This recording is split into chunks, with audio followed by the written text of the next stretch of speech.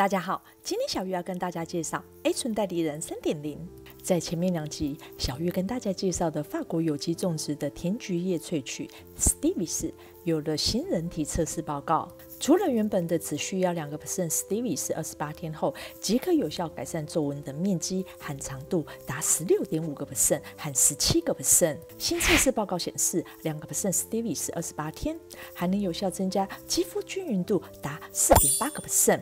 二十一位受测者中，其中一位效果最好的，还能达到三十五点七个 percent 呢。此外，斑点减少测试两个 percent Stevia 二十八天，降低斑点达三点三个 percent，效果最好的还能达到斑点减少达十三点二个 percent。所以，Stevia 可同时运用在抗老化、美白。发炎的产品中，Stevies 运用着芬诺拜尔亚连接水萃的专有技术，可以萃取从非极性到极性全成分。相比甘油和水萃取方式，抗发炎和抗老化的绿原酸含量，Stevies 可以达到三百个 ppm，而甘油和水萃取出的绿原酸含量只能取得不到一百个 ppm。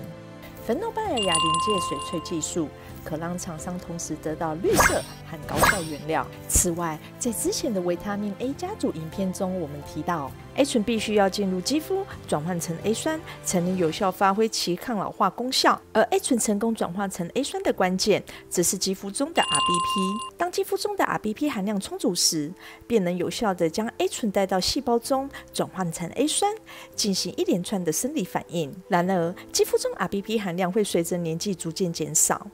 导致有些熟龄肌肤使用 A 醇时，不觉得有显著的刺激感，以及觉得效果不如预期。体外测试证实，零点零一个 percent Stevia 即能有效提升肌肤中的 RBP 含量达十八点二个 percent，提高 A 醇生物利用率，并增加视黄醇相关基因 RXRA 与 RARG 表现量，使其与直接用 A 酸的生物活性相当。这使得我们可大幅降低配方中的 A 醇，减少可能引起的副作用，或是解决熟龄肌肤使用 A 醇相关产品效果不彰的问题。此外 Stevis 也能减少 A 醇会导致的初发炎因子 COX2 表现量，大幅减少敏感问题。好啦，今天小鱼介绍法国有机种植的甜菊叶萃取 Stevis 到这，我们下次见，拜拜喽。